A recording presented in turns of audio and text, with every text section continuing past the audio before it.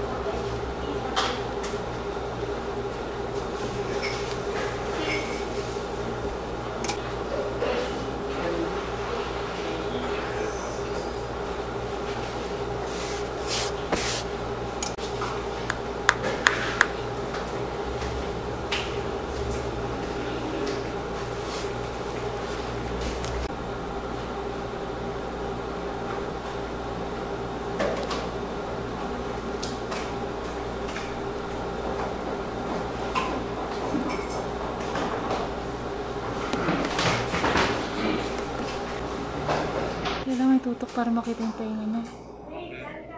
Kailangan itutok.